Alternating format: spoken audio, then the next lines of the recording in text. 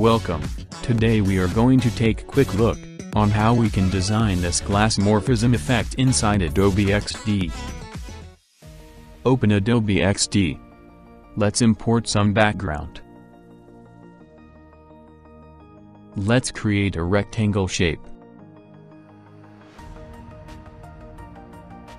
Set its radius to 38.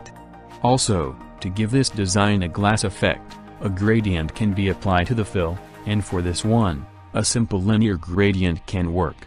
Let's reduce opacity of first color to 85%.